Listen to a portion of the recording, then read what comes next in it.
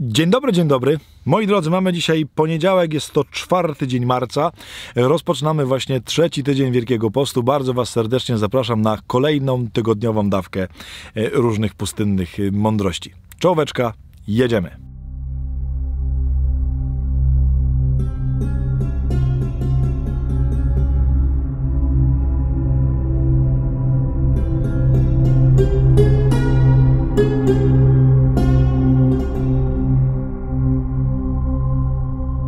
Moi drodzy, moi mili, moi kochani, witam Was serdecznie i zapraszam dzisiaj na mądrość Hezy Hiusza, którego już dobrze znamy z Szyjonu, e, który następującą rzecz nam dzisiaj chce e, opowiedzieć. Posłuchajcie. Tak jak w sytuacji, gdy niezdrowe jedzenie, ledwo co pochłonięte przez ciało, szkodzi, ale ten, kto je zjadł, gdy zauważa szkodę, przy użyciu jakiegoś środka zwymiotuje i pozostanie bez uszczerbku na zdrowiu, tak i umysł gdy dopuściwszy niegodziwe myśli, pochłonie je, ale dostrzeże ich gorycz, intonując z głębi serca modlitwę Jezusową, z łatwością je wydala i ostatecznie odrzuca. Ponieważ nauka wraz z Bogiem oraz płynące z niej doświadczenie pozwoliły trzeźwym zrozumieć to, o czym tu wspomniano. Takie ciekawe zdanie. Zobaczcie, posługuje się dosyć takim obrazowym przykładem święty Hezychiusz, czyli mówi czasem coś tam zjesz, nie wiedziałeś, że to było niedobre, co nie? W sensie, że było na przykład nieświeże i dopiero kiedy to wziąłeś w usta, aż nie daj Boże na przykład połknąłeś i się zorientowałeś, matko, zjadłem jakiś po prostu kawałek, nie wiem, niedobrego czegoś. Albo jadłeś na przykład jakieś mięso i ono było całe dobre, ale tylko kawałek był popsuty, nie? No i jadłeś, jadłeś, było dobre i nagle czujesz, że ten po prostu popsuty kawałek połknąłeś. Mówi zazwyczaj człowiek jak się zorientuje, że takie coś jest, no to stara się to zwrócić, nie? No stara się po prostu szybko wywołać taki odruch, żeby tego tam, bo wie, że to go może, no właśnie, skrzywdzić, zachorować i tak dalej. Mówi, podobnie trzeba robić z różnymi złymi myślami albo sprawami, które dzieją się w twojej głowie. Czyli na przykład orientujesz się, że z kimś rozmawiając, na przykład nagle zaczynasz się na niego gniewać.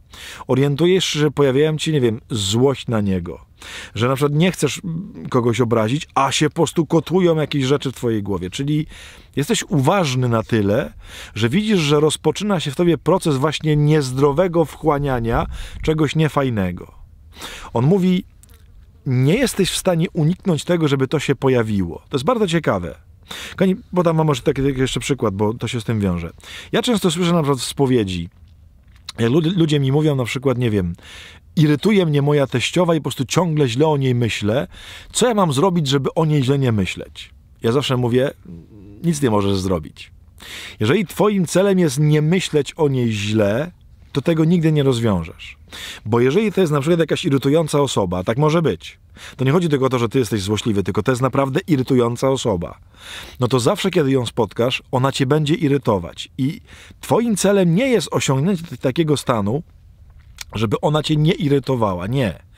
Twoim celem jest osiągnąć to, o czym mówi Hezychiusz, czyli ona cię zaczyna irytować, a ty się musisz nauczyć, przepraszam za wyrażenie, zwrócić, w sensie zwymiotować tą irytację. Czyli kiedy spotykasz się ze swoją teściową i zaczynacie gadać i po prostu czujesz już, że ona mówi coś, co cię denerwuje, to wtedy starasz się szybko w swojej myśli znaleźć po prostu Pana Jezusową pomoc, Panie Jezu, pomóż mi ją kochać. Panie Jezu, ja wiem, że to jest w głębi serca dobra osoba, jest co prawda irytująca i ja to widzę, ale chcę być dla niej dobry.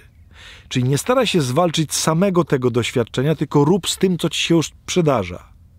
Kochani, nie jesteśmy w stanie wyrzucić pewnych automatycznych reakcji na, na, na różne, nie wiem, sytuacje życiowe.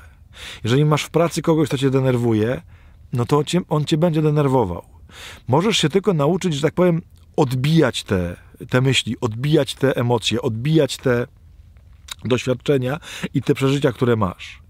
Kochani, bo czasem jest tak, że po prostu połkniesz coś, co jest zepsute i ty nawet nie wiesz, że takie to było. I, I nic nie zrobisz, po prostu to połknąłeś. Możesz wtedy tylko to zwracać. Ale ja bym chciał, żebym tego w ogóle nie połknął. No czasem tak się nie da. Bo są to takie sytuacje, które są po prostu nieuniknione. Są tacy ludzie, którzy są nieuniknieni w tym, że będą cię irytować. Mam takich braci w moim zakonie, którzy mnie zawsze irytują. I uwaga, to nie znaczy, że oni są źli. To nie znaczy, że to są złe osoby. No po prostu są irytujące, przynajmniej dla mnie. I ja po prostu uczę się, że na przykład kiedy wiem, że muszę z nim iść pogadać, bo muszę, bo coś tam muszę załatwić, idę wcześniej do kaplicy, chwilę się modlę, proszę Pana Jezusa, pomóż mi na niego dobrze patrzeć. Chcę, żeby te myśli, które się będą pojawiały, żeby mi się zwracały. Że nie chcę na niego patrzeć przez moją irytację, tylko przez Twoją miłość do niego.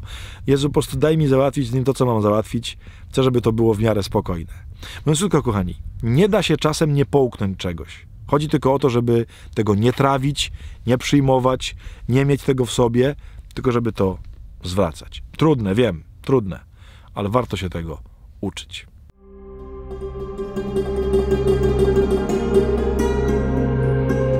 Moi drodzy, moi mili, moi kochani, wybaczcie. E, dziękuję Wam za e, początek tego tygodnia, za kolejne spotkania.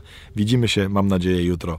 E, pięknego dnia Wam życzę. Miejcie się, proszę, najlepiej na świecie. Ściskam, pozdrawiam, błogosławię i do zobaczenia. Z Bogiem, papa.